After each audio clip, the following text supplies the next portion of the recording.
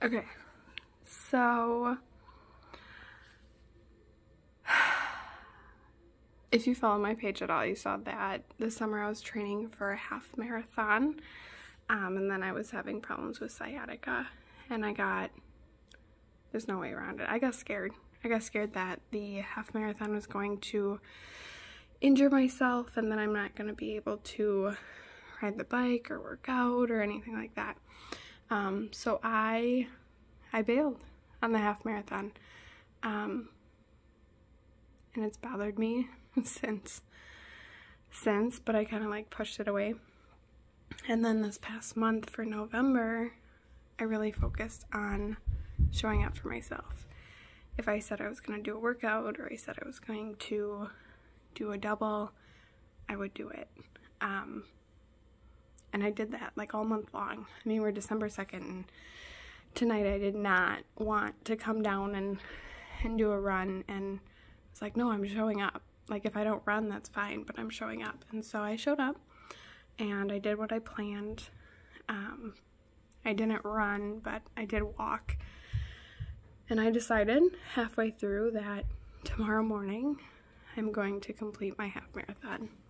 Now, I live in Wisconsin, so it's going to be 23 degrees as the high. So I'm going to be completing it on the treadmill, um, which I'm sure haters are going to hate. They're going to say whatever, but I'm going to complete it on the treadmill. Um, tonight I'm going to make sure everything's charged. I've eaten very well today, fueled my body for it. Um, and yeah, I'm going to make sure everything's out. Um, I'll set my alarm. I'm hoping to complete it in like three and a half hours. I, I think that's realistic for me. Um, I don't, I don't really know. I've never ran more than a 10K and I've only done that once. So, and I haven't really done too many long runs, um, but I've done a lot more runs in the last, the last month. So I think that's where we're at. We'll see. We'll see what the morning, what the morning brings. So, um, yeah, I'll post the, the Peloton workouts that I plan to run to. I won't be like following the workouts, but they'll be in my ears. Um, and we'll go from there. So, wish me luck. Okay, so I'm up. It is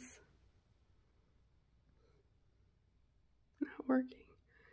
5.28, my goal was to start at 5.30.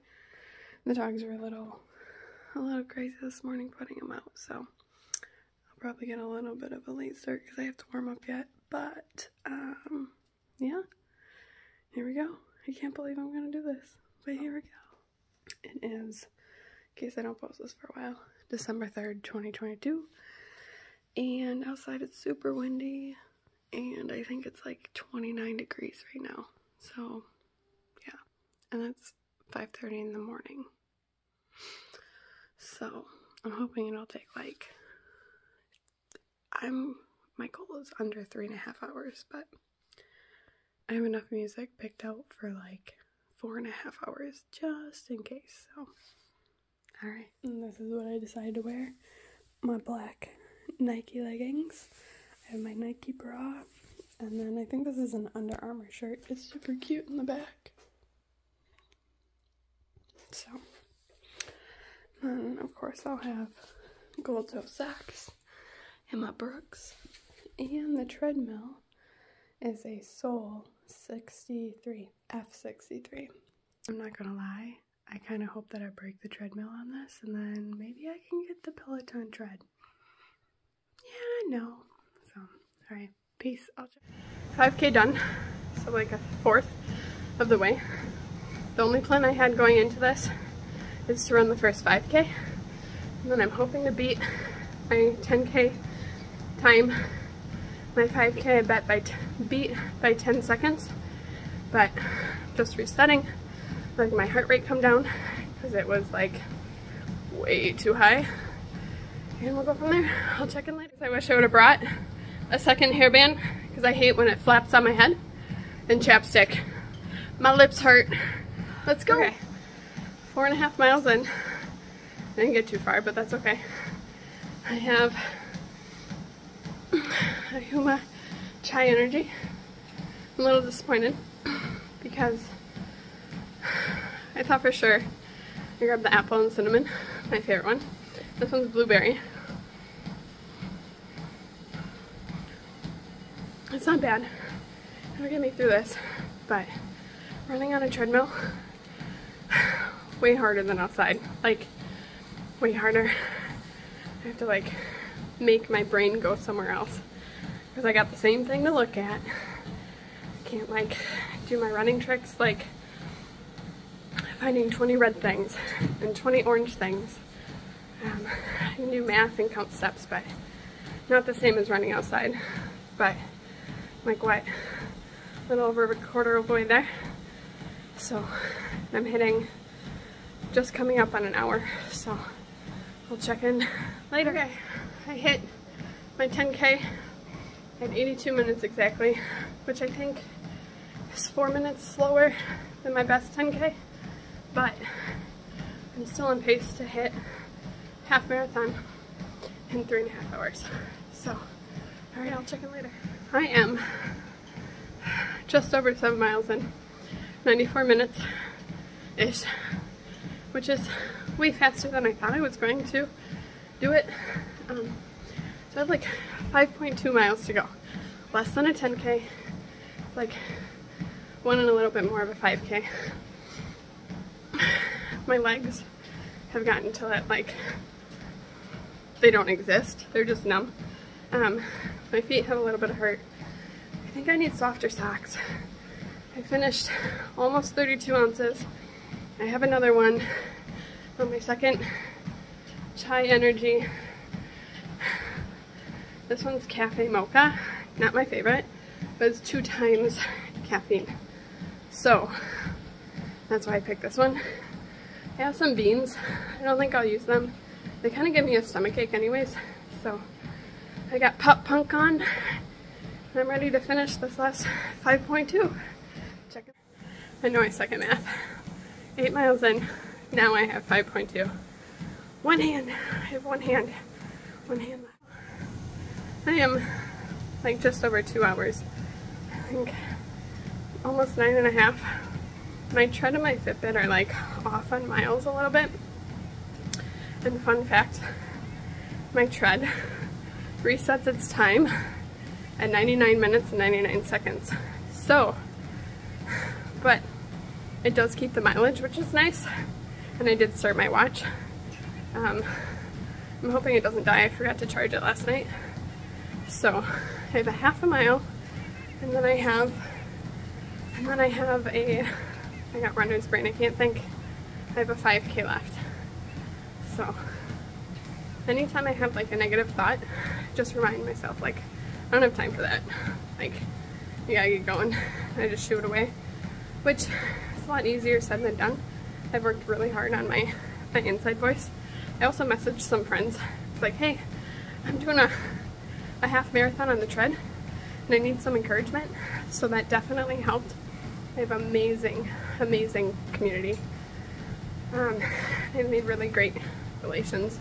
My abs are sore, my shoulders are sore, um, my legs are still numb, the balls of my feet are pretty sore. Um, I think I just need softer socks. Uh, and I'll have to look. I'll take a look. I think I think 10 miles is the most that I ran, um, and that was back in July. This is the most I ran since July. The most I ran was like two miles and a half, maybe, maybe, in the last month. So, we'll see. All right, I'll check in closer to that. Also, my sciatic started to act up around like mile eight and a half-ish. Um, I was like, I think I need to walk. I was like, why? Why are you choosing to walk? I was like, because I can't. And I was like, that's not a good excuse. So in my head, I was like, my sciatic hurts and I'm in pain. Yes, I need to walk. But just because I feel like I can't is not a good enough reason to walk. So, all right, close to 10 miles. These are really long miles. Really long. Two miles left. The balls of my feet are killing me. Everything else seems okay. I mean, like, I'm sore. I'm soaked in sweat. But I got this. I'm so close. Coming up on 12 miles. Last check-in before I'm done. The window, as you can see, like, sun's coming in bottom of my eyes. Should wear sunglasses. Um, my lower abs are killing me. But I got just over one mile to go. So, not giving up. My butt is starting to like cramp up. Not bad, just enough that I can feel it. So, we're at, ow, and I keep hitting my hand on the side rail. So, just under three hours. I got one mile to go. I did it! I'll jump on after the vacuum's done. I did it! Ah, so I just took 20 minutes and I just did some really long stretching. Um, my feet are killing me. Those socks were not soft at all. um, my joints are a little stiff, like outside of the typical like running motion, they're really stiff. But my muscles are pretty numb yet, so we'll see how that goes. Um, I did two gels. I had a third one and I probably could have used it, but I was really worried because my stomach hurt. Um, and I think it was more like my abs. My lower abs were killing me the last two miles. And then I had, I think, five beans. Uh, actually, I think it was four because one fell on the treadmill and it like skidded off. So, um, and then I finished just shy of two 32 ounces. Um, so yeah, I'm going to finish stretching, shower, and then we have a, a full day packed, so it'll be fun. Uh, yeah, I'm super happy that I did it. Um, I did reach out to some friends and I was like, hey, no one knows I'm running a half marathon today and my inside voice isn't being, being very nice. Can you help me out? So they they shot me some encouraging messages, which was amazing. Like the community that I have surrounded myself in um, is just great. And what else was I gonna say? Yeah, I don't know. I did it. I don't have to hide the, the half marathon shirt anymore, worried that someone's gonna be like, oh, you ran a half marathon? And I'd have to be like, uh, no, I hurt myself. I did it. So I think I'm gonna wear that shirt today. Thanks for watching. Okay, so it's the day after I ran the half marathon. Um, I am super sore. I don't know what I expected, but I think I thought like the next day I'd be fine because I'm always fine.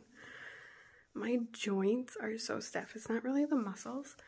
Um, I used the massage gun yesterday and I stretched, but my joints, like my hip joint, my ankle joints, they're just so painful. So I'm going to do a recovery ride, some mobility, and then some stretching, and hopefully that will work. Um, yeah, yesterday I was starving, so I ate like all the food. So, but yeah, that's it. I don't know what's next. I said I wanted to do a, a full marathon in 2023. Um, I think I need some time to just figure out if that's what I want to do or not because yesterday was just half of that. So we'll see. Um, I mean, I'd love to like qualify for the Boston and do the Boston or the New York or the Chicago Marathon or something like that, but it's a long ways. I mean, I think, and people will probably come at me, but I think tread running is way harder than outside. I mean, you have like elements of the weather not included, but like it was hard. Like you have nothing to get your brain outside of like focusing on running. So we'll see. I definitely if I if I decide to do the marathon, it will not be on the tread. No way. So all right, well that's all I got. So hopefully I'll have the video up either today or by the end of the week or something. So Alright guys, make sure you subscribe and follow along to see what is next on my journey. So I came on here just to show you that I don't always look like complete crap. Just kidding. Just kidding. no, I came on here to kind of like update you guys on how the next few days went after the half marathon. So it's the 8th of December now, and Saturday I ran the half marathon. Sunday I got up and I was super sore. Um, and I kind of I figured that I would be sore, but what I did not plan on was being sore for the next like two days. Um, my ankle, I don't know if I did something to it, but the tendon was just I don't know. I'm pretty sure it was a tendon. Uh, it was sore. My hips were sore. And so I actually did nothing for two days. Like, nothing. I mean, stretching and, and stuff like that, which is not like me at all. So that was, that was kind of shocking. Um, but going into training back this summer, like I had watched all the videos and seen, you know, do long runs and things like that. And like I said before, my last run, um, like real run was in July. I had done like two, two and a half miles here and there uh, since then. But yeah, and the sock thing, like, I don't know. Those socks, they were terrible. Terrible. Don't wear gold toe socks on your half marathon. So, but I did it. I'm proud. I still have not ran yet since. Um, I've jumped on the bike and done strength and done some boxing and things like that. So we'll see what's next. Thanks for watching along and and following my progress.